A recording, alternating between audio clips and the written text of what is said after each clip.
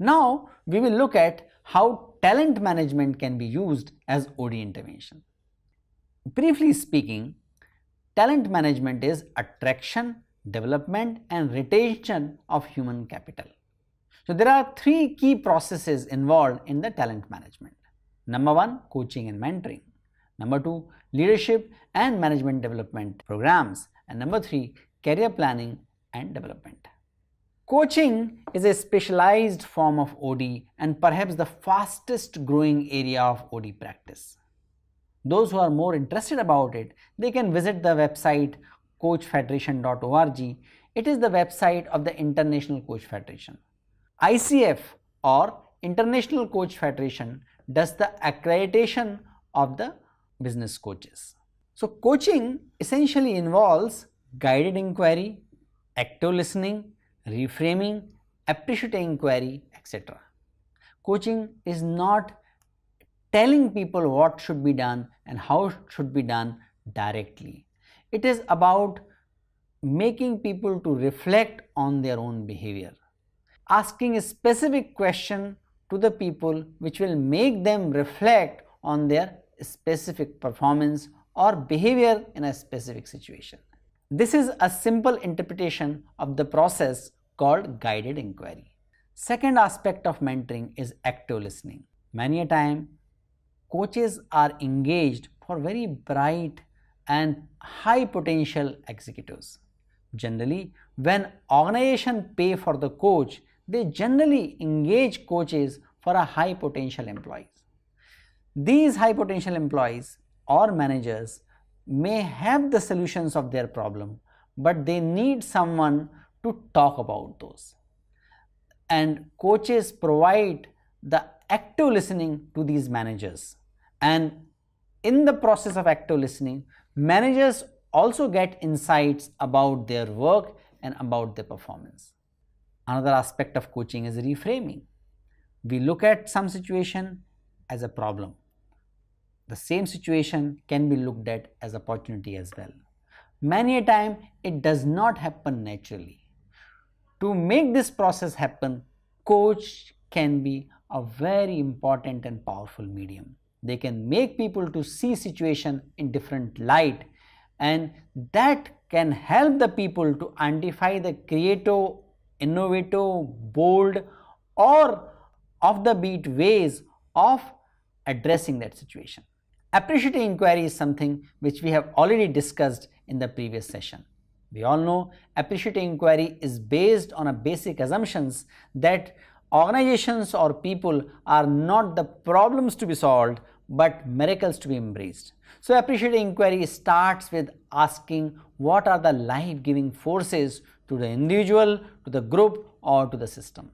Appreciative inquiry is completed through discovery, dream, design and delivery or destination phase. There are three major reasons for the coaching engagement in an organization. According to the HBR study, the top three reasons for engaging in a coaching work are developing high potential or facilitating and transition. Second, acting as sounding board, what we discussed in the active listening and addressing derailing behavior of the leaders or managers. Developing high potential or facilitating that transition is the number one reason why coaching as a OD intervention is used. That simply means transition from one organization to another organization or transition from one function to another function or transition from a specific function to the general management role. Mostly coaching is required when people reach to the top post in their function and then they are given opportunity for the general management. They might be very good for working in their specific function like finance, HR or marketing. So they may not be as comfortable in the general management role where they are in charge of all or many other departments. This kind of transaction is very crucial for people to move to the top management level.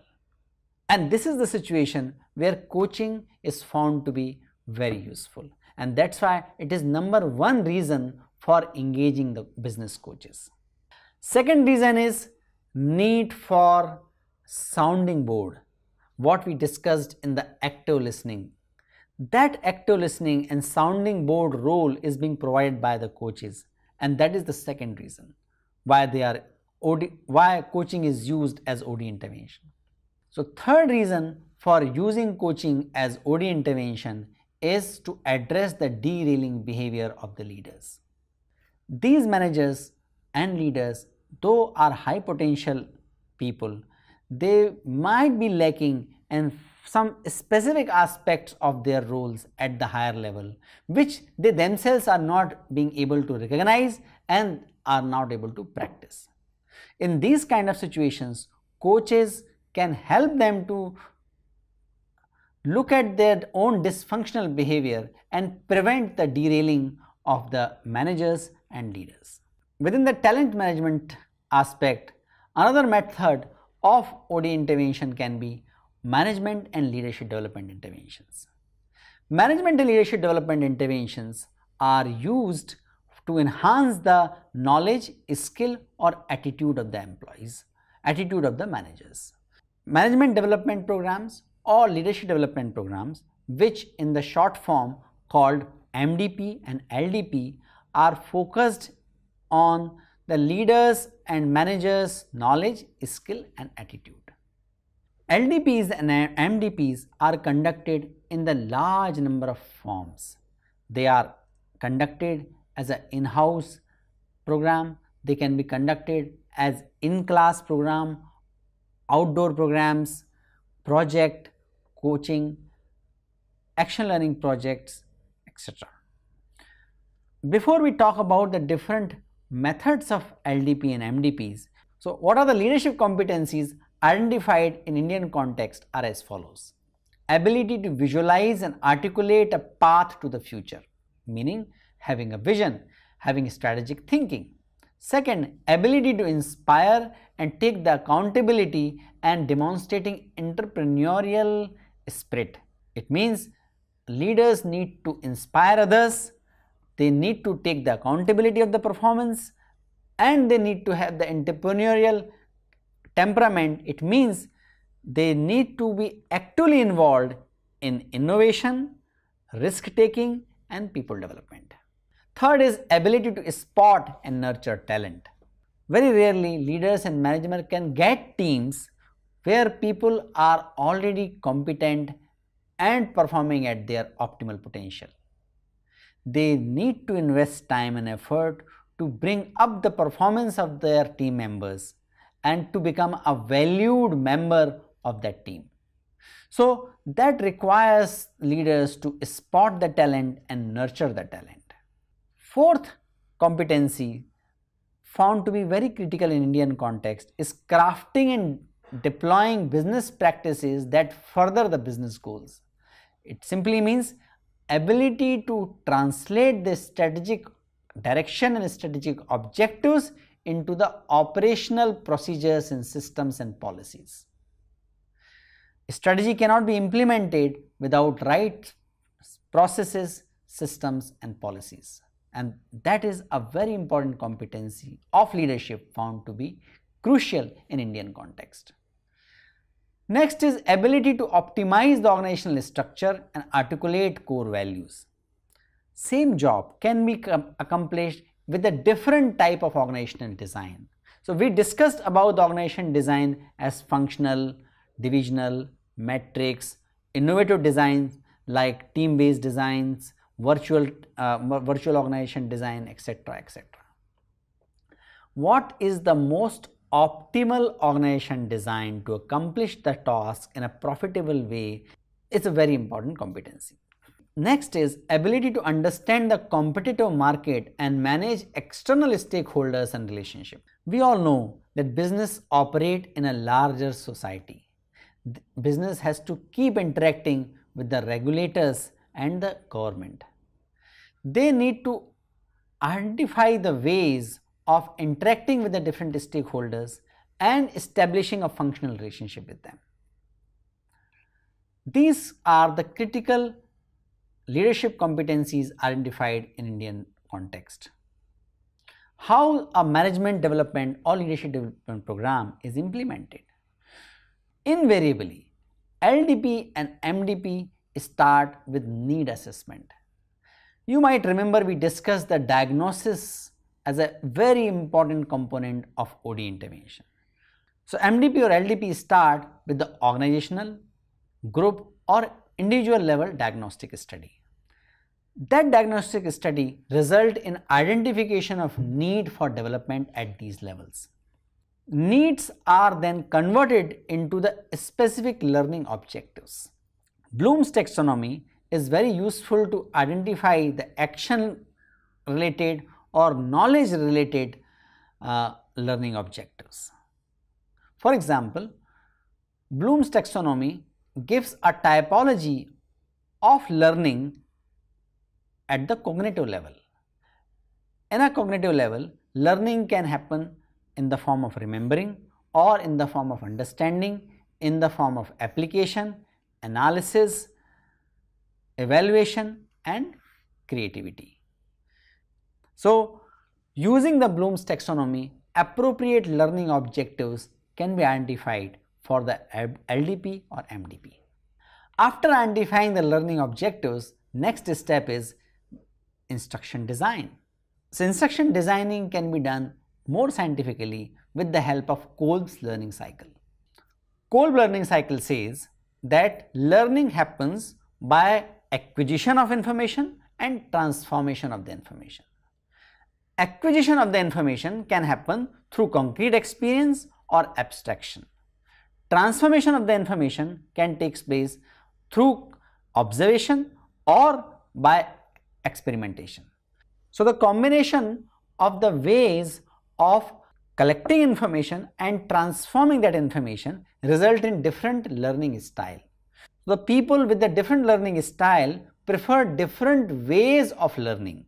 So, some people are more comfortable in the project based learning, some people are more comfortable with the lecture based learning, some people learn better by reflecting on different aspects of a problem or some people need to have a very clear first concrete experience to get them engaged in learning process.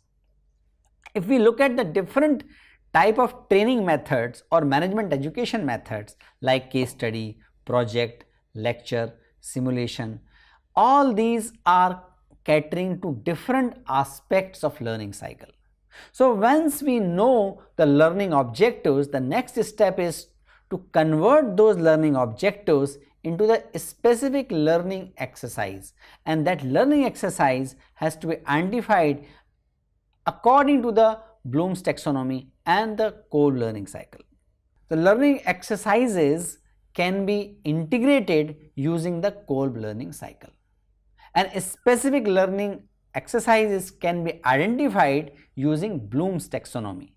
Then comes the next stage which is validation. You after doing need analysis, you develop the learning objectives, you make the instruction design, but that inst instruction design has to be validated by the different stakeholders. We talk to different stakeholders about what should be included in MDP and LDP and that is done in the stage 1 that is need assessment. Those stakeholders can tell whether their concerns are being addressed in the design or not. After the validation comes the delivery of the program. Delivery of the MDP and LDP can be done in the combination of the in-class session, group work, action learning project, simulation and many other available techniques and methods. After delivery comes impact assessment.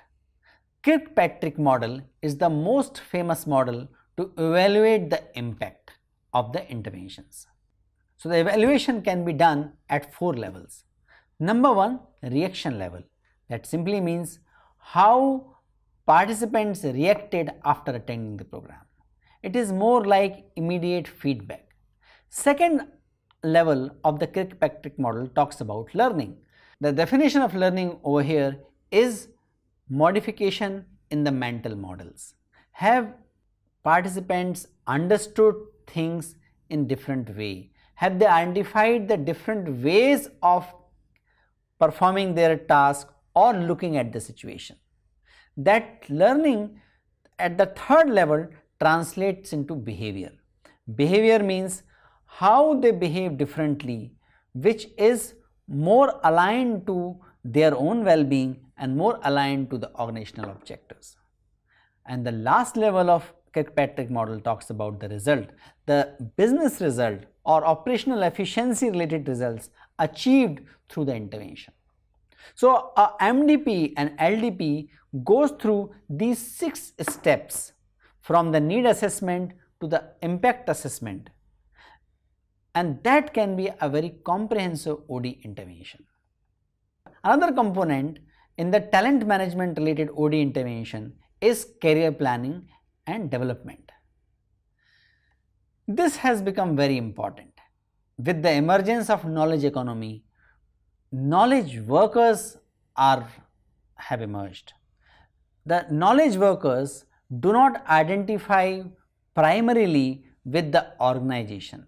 But when people identify themselves more with the profession and less with the organization, then they expect their organization to help them to grow in their career. And career planning has become a very important way of enhancing employee engagement and organizational effectiveness. Now we will look at how career planning and development can be done as an OD intervention. For that, we need to recognize that people go through different stages in their career. According to the most popular classification, the career of a person goes through establishment, advancement, maintenance and withdrawal stage. At each level, their questions and concern about their career and life are different. So when we use career planning and development as OD intervention, we need to be conscious of what are the most important and concerns of employees in that particular stage of career. For example, in the establishment stage, when person just starts his career, her career planning needs to include exploration and development of her capabilities. So, a OD intervention should facilitate the people in the establishment stage to explore and develop their capabilities. At this stage, people need more frequent feedback. They are exploring the different possibilities. They look at different avenues to build their career.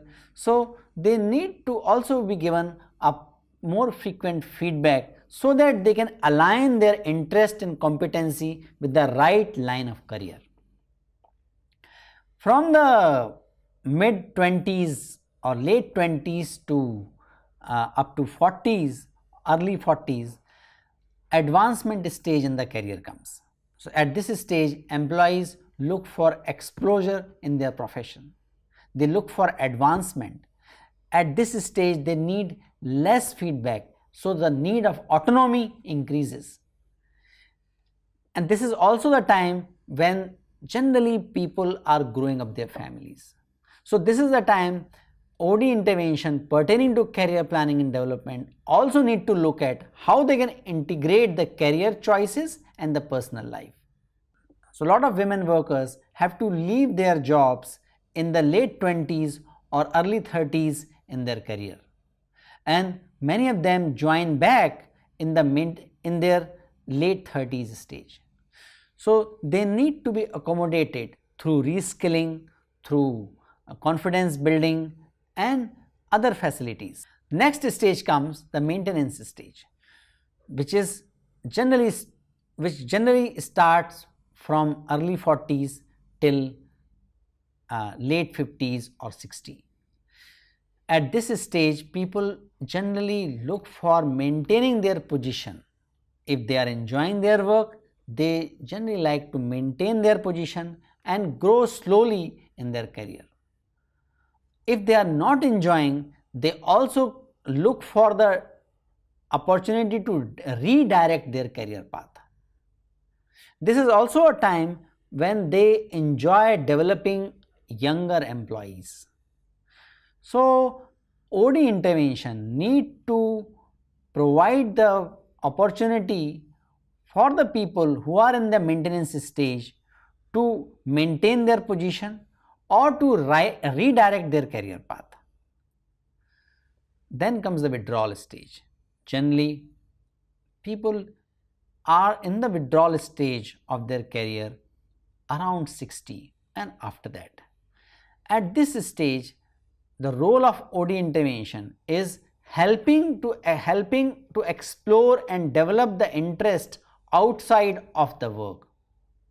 Employee need to be helped to identify their interest outside of their job which they can joyfully pursue post retirement. This stage also involves preparation and planning for retirement that includes career planning also includes financial planning. So, in the career planning stage for the people at the withdrawal stage if employees are prepared and given opportunity to develop their younger colleagues that is very satisfying to them and that's how their talent can be still used in the organization. So these are the ways how the career planning can be done at the different stages of the career of the employees. So we conclude today's session by a quick recap. In the today's session, we look at HR function as OD intervention. Within that, we, we, we looked at performance management and talent management. Within performance management, we looked at goal setting, appraisal and reward system can be used as OD intervention. Within the talent management, we discussed about how coaching and mentoring, MDP and LDP and career planning can be used as OD intervention. Thank you.